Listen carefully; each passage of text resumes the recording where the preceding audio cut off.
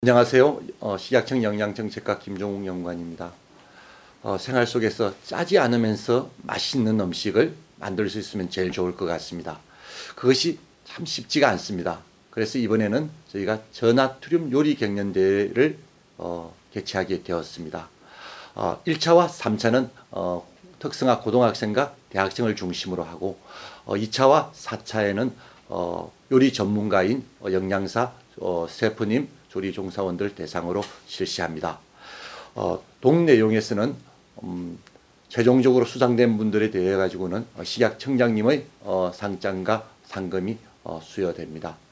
어, 이번에 만들어지는 동 내용들에 대해서는 어, 단체 급식이나 외식에서 저나트륨 메뉴 공급하는데 전적으로 활용될 예정입니다.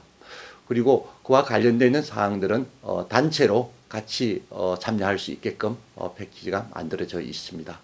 그리고 동 내용에 대해서 자세한 것은 어, 식약청 홈페이지와 한국조리사관학교의 홈페이지에 등재되어 있으니 자세한 내용들은 참고하시면 되겠습니다. 감사합니다.